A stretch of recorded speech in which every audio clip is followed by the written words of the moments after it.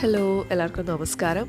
അപ്പോൾ ഇന്നത്തെ വീഡിയോയിൽ ഞാൻ കാണിക്കുന്നത് വളരെ പെട്ടെന്ന് ഉണ്ടാക്കാൻ പറ്റുന്ന ഒരു ഹെഡ് ബാൻഡ് ഓർഗനൈസറാണ് ഇതിനായിട്ടൊരു വലിയ സൈസിലും പിന്നെ അതിന്റെ കുറച്ച് ചെറിയ സൈസിലുള്ള രണ്ട് സാറ്റിൻ റിബണാണ് ഞാൻ എടുത്തിട്ടുള്ളത്.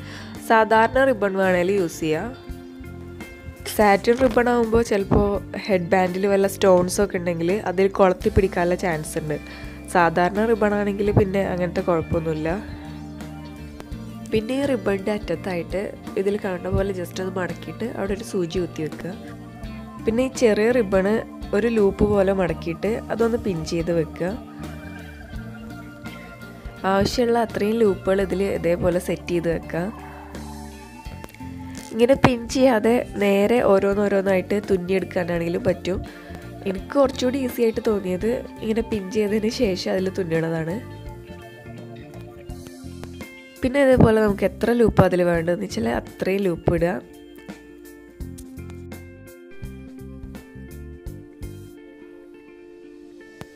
ആവശ്യമുള്ള അത്രയും സെറ്റ് ചെയ്തതിന് ശേഷം നമ്മൾ മുകളിൽ ചെയ്ത അതേപോലെ തന്നെ താഴത്തെ ഭാഗത്തും ഒന്ന് മടക്കിയിട്ട് അവിടെ ഒന്ന് പിൻ ചെയ്ത് കൊടുക്കുക.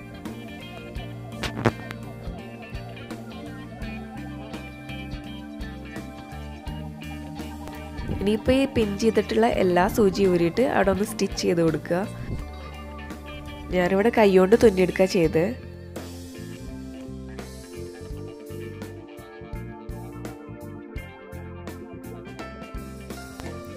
പിന്നെ എല്ലാം തുന്നി കഴിഞ്ഞതിന് ശേഷം ഇതൊന്ന് തൂക്കിയിടാനായിട്ട് ഒരു ഹുക്ക് ഈ റിബണിൽ തന്നെ ഇതേപോലെ ഒന്ന് കട്ട് ചെയ്തെടുക്കുക.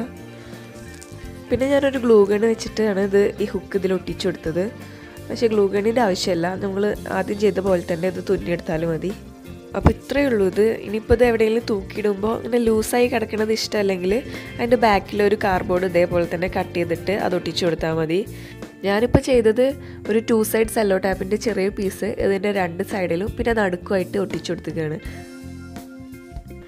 ഇനിയിപ്പോൾ നമ്മളിത് എവിടെ തൂക്കിയിടണമെന്ന് വെച്ചാൽ ആ തൂക്കിയിട്ടതിന് ശേഷം ഇത് ആ സെല്ലോ ടാപ്പ് അവിടെ ഒട്ടിച്ചു കൊടുത്താൽ മതി. അപ്പോൾ പിന്നെ ഇത് ലൂസായി കിടക്കില്ല.